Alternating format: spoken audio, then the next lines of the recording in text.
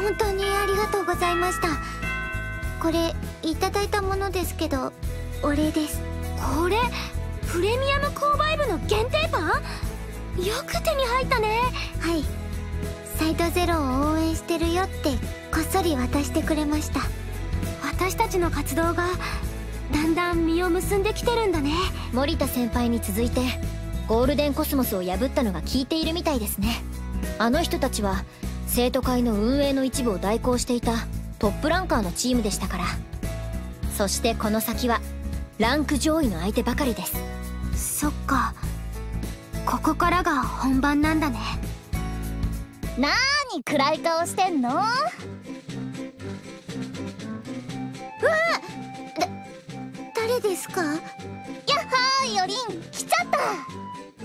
千夏驚かせないでくれるこの子は上坂千夏。1年の時は同じクラスで今も色々と付き合いはあるんですが。もう私のことはちなちって呼んでって言ったっしょ？ほんとツンデレだな。もっと仲良くしようよ。はあ。それでちなちは何の用でここへ？慌てない慌てない。へえ君がリーダー？結構いい顔してんじゃん君たちさ超面白そうなことしてるよね。打倒生徒会のお助け部なんでしょ？違いますから。生徒会の理不尽を止めて自由を取り戻すの。いや同じじゃん。まあいっか。そんでねちょっと助けてほしいんだけどさ。生徒会派のエアブラシオブゼータ今はそこが学園の塗装道具を占有してるのねそれが超横暴でさ。そこの部長の白いマスミって3年生が派手な塗装やデコを全面禁止してんの。チナチーの言い方だと深刻さが伝わりづらいけど自由な塗装を制限するなんてやりすぎね。間違いを正さなくちゃ。失礼します。ガンプラの塗装の件でエアブラシオブゼータのリーダーにお話があるのですが。様たちはサイドゼロだったか。よく群れで動くと聞いているが。あれ？マスミッチじゃない？生徒会？セナ副会長？ほう？俺の名は知っているようだな。小浦伊織。あなたこそなんで私の名前を？知っているとも。特に貴様の名はいろいろと有名だからな。ここで始末してしまいたいが何分忙しい身でな。後にも予定が詰まっている。白い。分かっていると思うが生徒会は敗北を許さない。今の地位を守りたくばせいぜいあがくがいい。お任せください。必ずやこのエアブラシオブゼータが。ってもういないし。マスミッチそれウケる。で君ら何？今度はうちに喧嘩売りに来たわけ？ガンプラの塗装の件でお話に来ました。ダメだダメだ。絶対認めない。ガンプラ塗装の指導権は僕がこの力で勝ち取ったんだ。手放す気はないぞ。力でガンプラの在り方を決めようなんて。そんなのは間違っていますそうだそうだ間違ってるぞ。よしそこまで言うなら見せてあげよう。リアル系塗装ガンプラの美しさを。エアブラシオブゼータ白いマスビ出撃。はいはいはい。滑り込みセーフ。最近予定にないバトルが多くて大変です。ともあれ現在の生徒会派筆頭チームの一つエアーブラシオブゼータと学園改革派サイドゼロの正面衝突。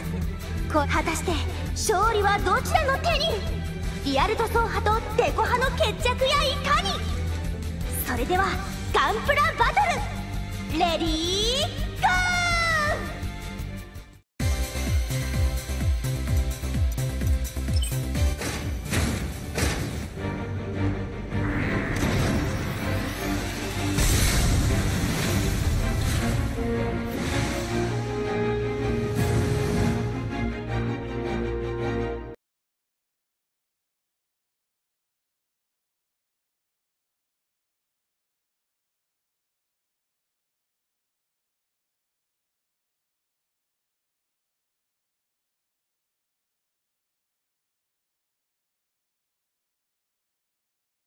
学園の秩序と塗装を乱す奴は今ここで粛清してやる！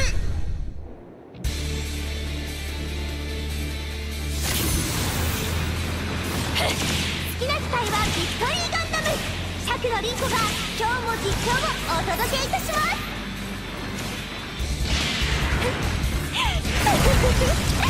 よりどりみどりだわ。第三勢力の討伐クエストです。複数の敵が相手となるとチームワークが試されますねこのクエストあなたならどう動く私なら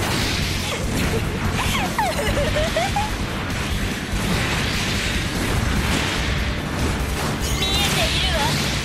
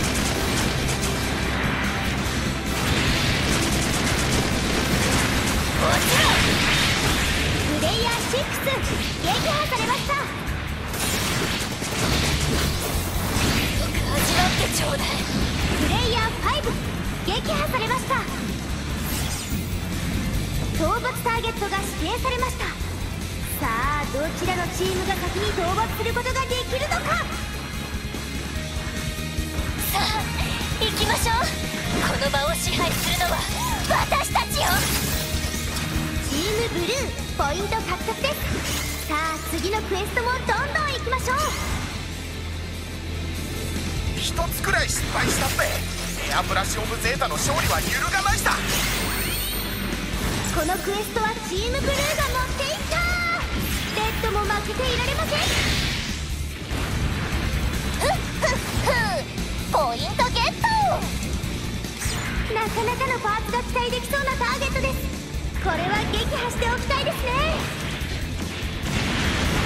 こんな簡単なクエスト。をすぐ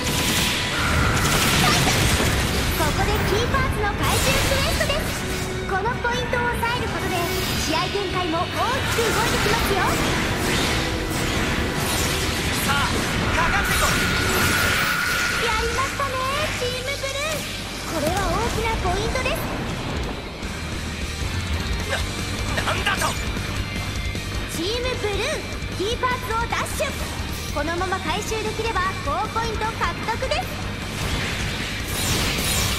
ラッキー。キーパーツじゃんバトル終了です。サイドゼロがまさか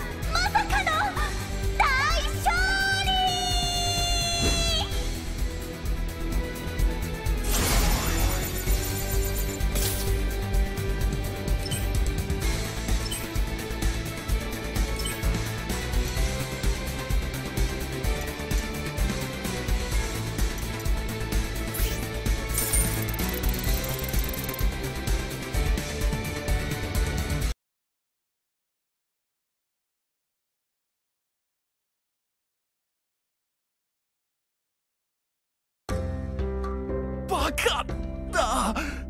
僕の完璧な塗装がリアリティが敗北した。それだけじゃない。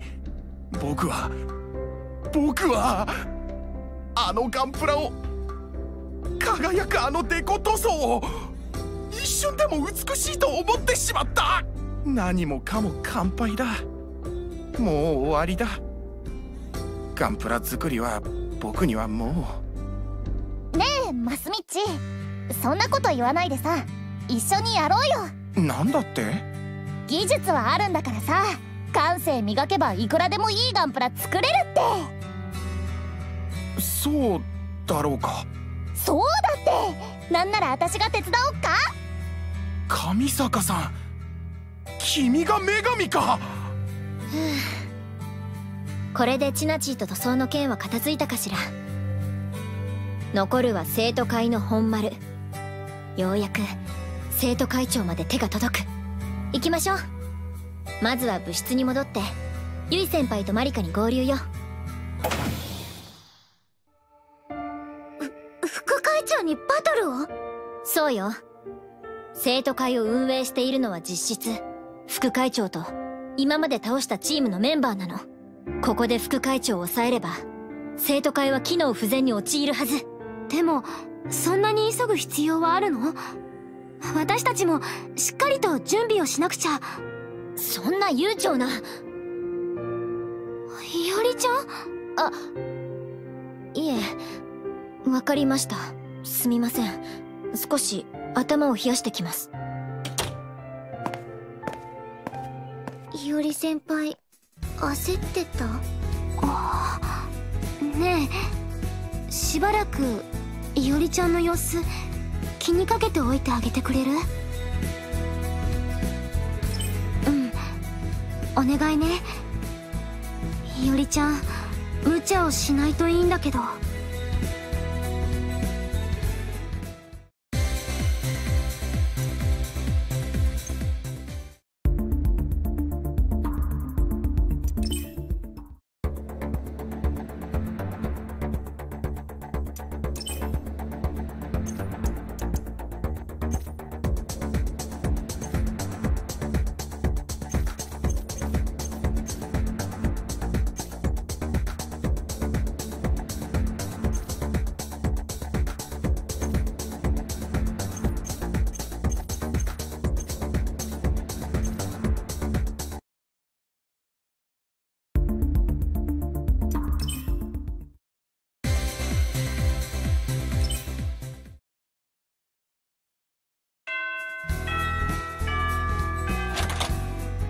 疲れ様です先輩。あれ？あの今日はいおり先輩一緒じゃないんですか？ああいおりちゃんならマリカちゃんが部室に来る少し前に顔を出して用事があるって言ってすぐに。え？どうしたの？どうしたの？そんなに慌てて。コーラさん？彼女ならさっきそこの角を曲がってこら廊下を走っちゃダメですよ。おリーダーじゃん。何何？そんなに急いでどうしたの？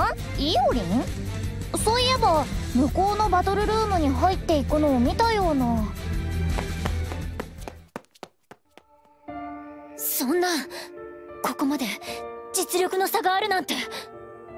まさか一人で挑んでくるとはな。チームプレイにはもう飽きたというところか？驚くことはあるまい？言っただろう。貴様はいろいろと有名だとな。まったく嘆かわしい。貴様は本来我々側の人間のはずだ。力の正しさそして強さの素晴らしさを知る側だったはず。それが前副会長のもとでくだらん仲良しごっことはこれを嘆かずして何を嘆く？知るがいい。身の程をわきまえぬその行いが貴様を敗北させたのだ。私は。サイドゼロのリーダーか。一足遅かったな。あなたなんでここに？そう怖い顔をするな。貴様たちを今ここで潰しても仕方ない。チームごと潰すにふさわしい部隊を用意しておこう。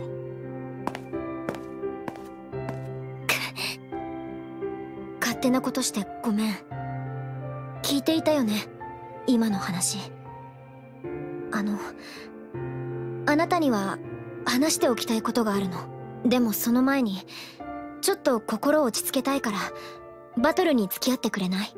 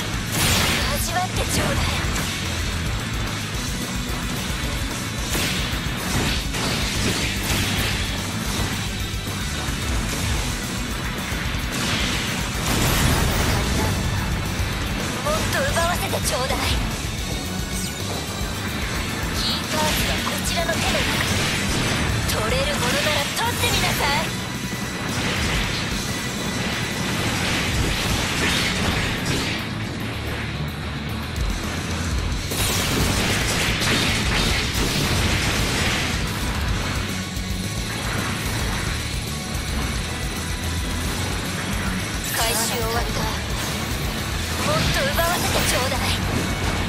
回収だろうが何だろう。全て奪い取るのみよ。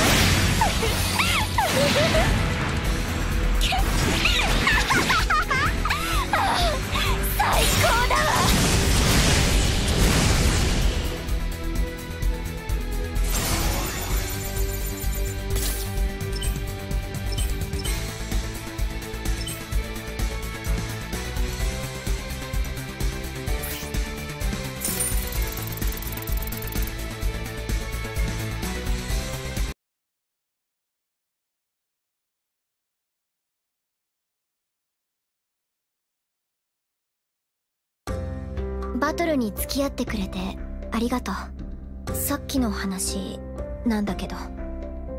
副会長の話。私が昔ソロモンの魔女って呼ばれていたって話。聞いちゃったよね。